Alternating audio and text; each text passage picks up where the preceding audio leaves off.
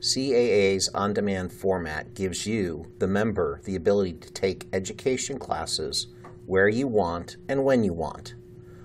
Launching an on-demand class is simple. For the purposes of this video, let's assume you've already found the class you desired and purchased it through our website. I'll first need to log on to my account. Remember, your username is your email and your password is something you've set previously.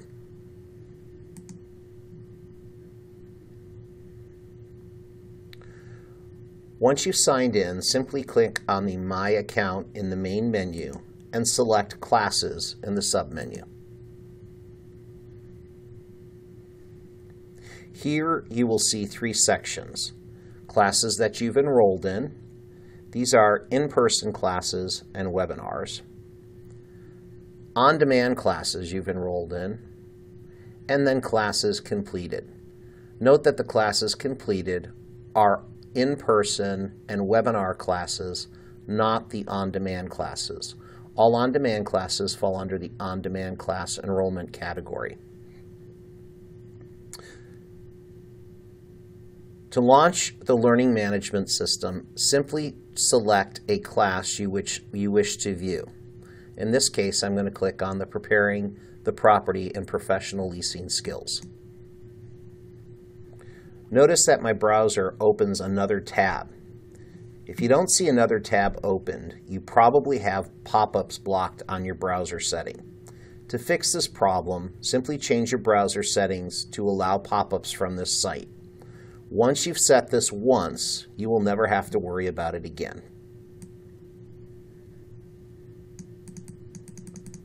Because I clicked on the specific course, Preparing the Property and Professional Leasing, I'm launched directly into that course in our on-demand university. In my example, you'll see the title of the course located at the top, along with the various modules underneath it. Directly under the course name, you'll see a description of the course. And with the modules, you'll notice that there's a status bar here. The first module, Section 1, is completed, noted by the green bar here. Section 2 has not yet been completed, and you'll notice that Sections 3, 4, and the final exam are all locked. That means you cannot move to the next section until you've completed the section prior. Below the section area, you'll see an icon or image of the class itself, a green bar that will either say start this course if it's brand new or continue this course if you've already been working on it. You'll also see a notice board here which talks about some other interesting aspects of the course. You'll notice that there's additional reference documents associated with this course, which is found right below the notice board. In this case, it's the PRM 100 Student Guide. Consider the guide the textbook to the class. If I click on the guide, it opens an Adobe file in another browser window for me. We strongly recommend that you print off this guide and use it while you're taking your class. It will give you more in-depth information regarding the materials than is covered during, during the audio portion of the, of the class. So let's go back to launching the course. There's two ways I can launch this course. Of course, clicking the green bar, continue this course, is one way, but I can also click a module that I'm interested in viewing. In this case, I'm going to go to section two of this course. Notice that I've completed section one. I can't always click on it again and go back and review that information. When I click on the section, it will open up another window with the actual video content. I'll have to launch the course or launch the video by hitting the play button. But before I do that, I want to take note of a few of the items at the top right. You'll notice there's a feedback button, a next module button, and an exit button. The feedback button allows you, the learner, to provide us information about a course. Simply type in the subject and the message you want to say. Anything from the course is too long, I didn't understand a particular concept, I need more clarification, or even just a thank you for doing such a wonderful job. When you hit send, the information will go back to CAA and our education director will review the information and route it to the appropriate person to provide you feedback. The next module function allows you to advance from one module to the next. Now, if the module is locked, it will not allow you to advance. It will tell you the next module is locked. And then there's the exit button.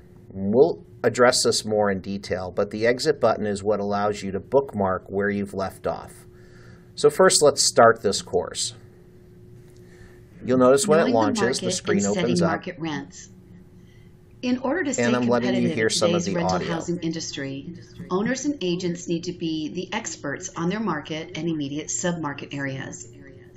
In order to set and achieve maximum rental revenues, each property must be priced according to the location, size, product type, there is no need for you to worry about advancing slides. They will advance on their own. surveys should be used Most of these courses are timed, and there is a time limitation on each slide. Market surveys The minimum amount of time a slide will be open once a week is 40 seconds, but the maximum will run the length of The the information audio gathered portion. from these surveys will assist in making decisions about rents, amenities, You'll notice at the bottom, as the slide future, progresses, as the as time well as progresses, the you can see how far along you are in this course.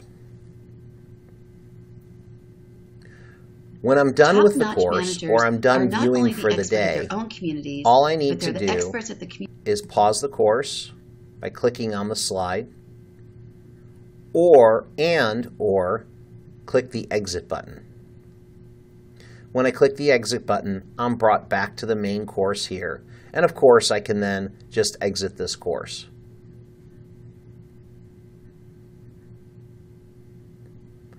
In addition, there's there's this home function, course library, and achievements area. The home function will take you to all the courses that are in your university. So these will be all the courses you have purchased. You'll be able to go to ho- your home function, click on any other course, and continue taking it.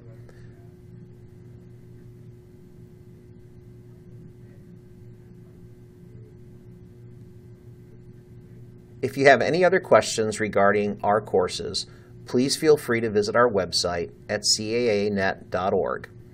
Thank you again for your time, and we hope you enjoy our online learning.